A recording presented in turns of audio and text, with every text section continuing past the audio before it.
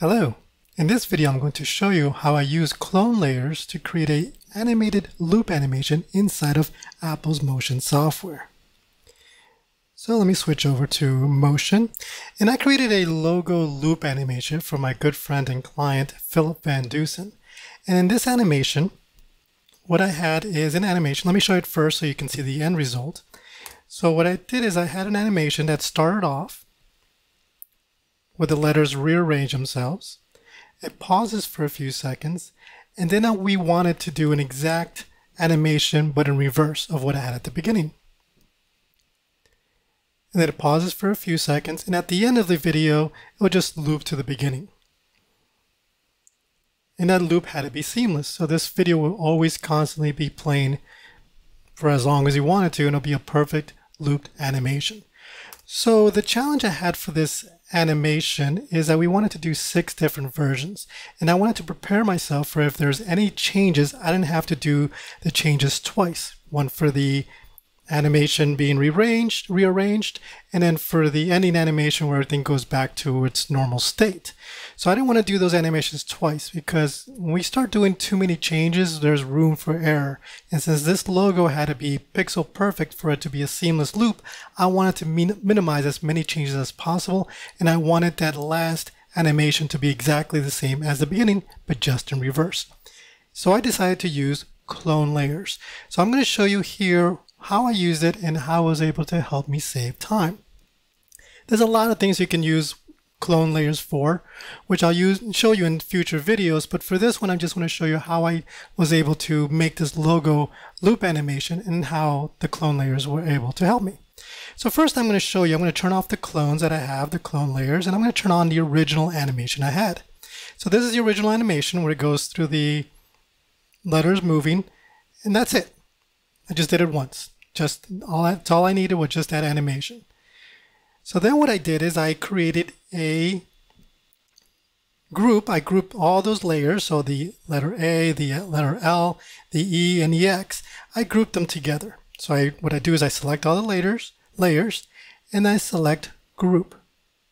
Once I do, did that group, I grouped it again so I can add more animations when things need to move left or right to keep everything centered. So I just regrouped it again.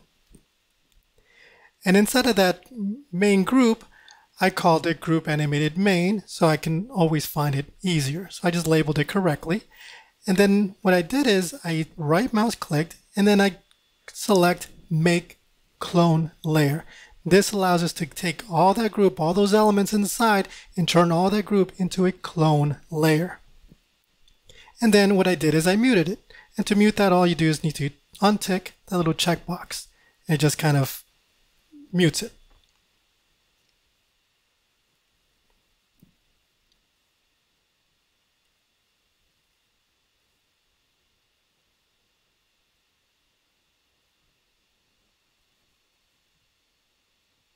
All right, sorry about that.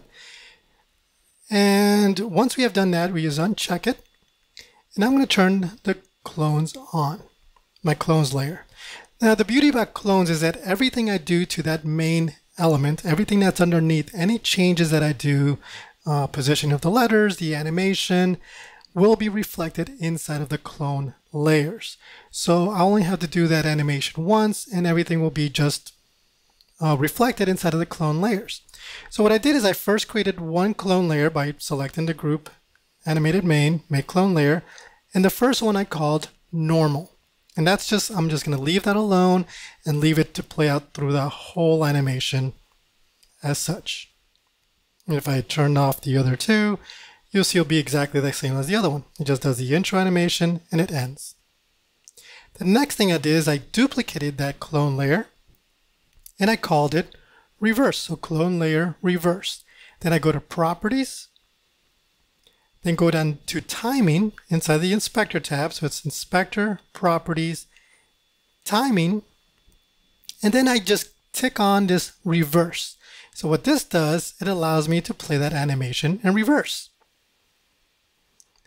And then what I did is I slid this clone layer so it matches with the endpoint to the new endpoint of the reverse layer. So now if you play it back, you'll see that same animation playing in reverse.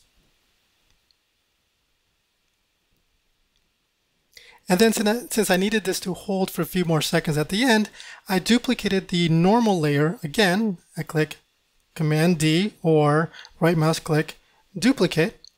And then I go into my inspector properties timing and for still, turn the still on, and I bring this down to zero. The lowest it can go is 0.1, but I type in zero and automatically switches to 0.1. But what that does is shows me a still frame. So that's a still of the beginning of the of the animation, which is this, the beginning part of the animation. So that's just going to be a still for the rest of the animation. So what do I do now is we click on the clones here. Okay, so now what I'm going to show you is if I send this over to the client and the client has a few changes, all I need to do is make my changes to the beginning animation, to the main master group that I first had worked on. So for example, I'm going to use some random numbers. I'm going to use some extreme numbers here. So let's say I want to rotate this instead of 90 degrees, right now I switch into 90 degrees. Instead of 90 degrees, I want to make it 450 degrees. Something just wild out there just so you can really see what I'm doing. On the X. So the X is going to rotate 450 degrees, so it's going to do this crazy flip it do. And then I'm going to select the E, and on the E, I'm going to change the scale to be even smaller. So instead of 35, I'm going to make it negative 65. And I'm using behaviors for all these uh, animations, also to help save me time. So now the letters go even smaller. And then what I'm also going to do just to see all the changes that I did is I'm going to rotate the, the A 180 degrees. So it's going to be upside down. So as you can see, I did a lot of changes to this. So normally if I would have done all these changes, I would have to do it at the beginning and I would also have to do it at the end to kind of match up the reversal of the animation. But since I'm using clone layers, if I play forward, you'll see it worked perfectly well. So I get a perfect animation that matches exactly to the beginning, but just in reverse.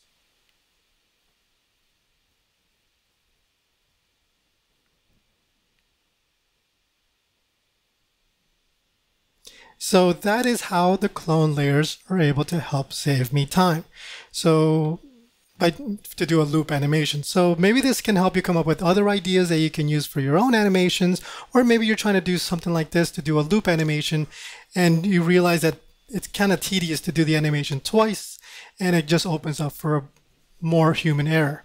So anyway, I hope this video helps. If you have any questions or comments, please let me know.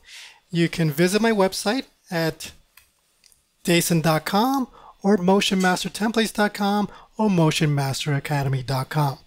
Thank you for your valuable time and have an amazing day.